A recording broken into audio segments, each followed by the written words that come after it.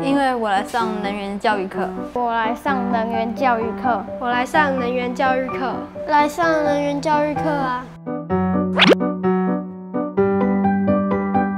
我们这一次的活动有设计一个宾果游戏，这个宾果游戏主要是让孩子是填入有关于电池的一些产品，用意就是最后在总结的时候教导孩子说，哦，我们这些产品通通都可以改装成太阳能的一个产品，也从里面挑了一样，就是四驱车，我们把四驱车这个玩具把它改装成太阳能四驱车，孩子拿着这个四驱车，他就可以到太阳底下。哦，用免费的太阳光，就让它的四驱车就有电，就可以去跑。透过这样的方式，让能源教育能够扎根在孩子的身上。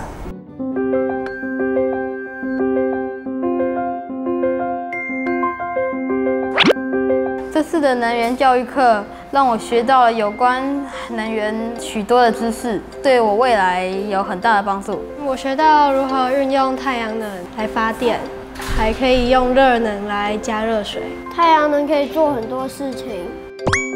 节约能源，我们可以随手关灯，或是冷气搭配电风扇，这样就可以比较省电，不会只开冷气，然后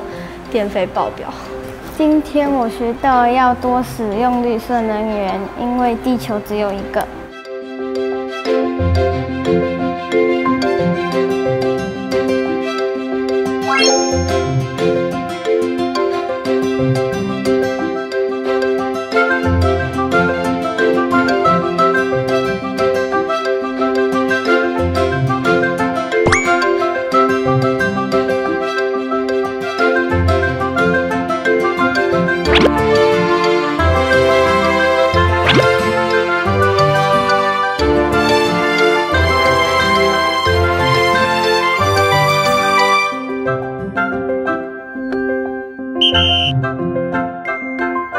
好，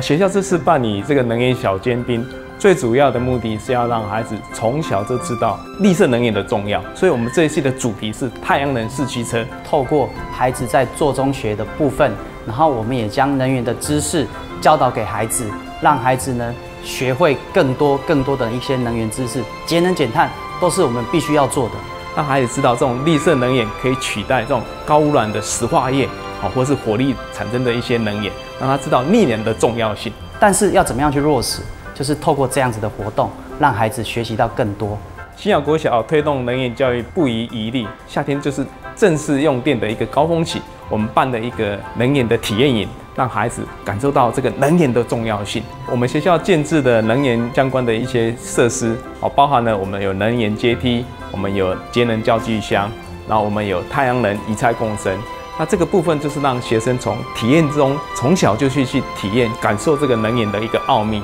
以至于让我们新亚国小可以在去年就是一百零六年荣获全国能源标杆的一个金奖的一个荣誉。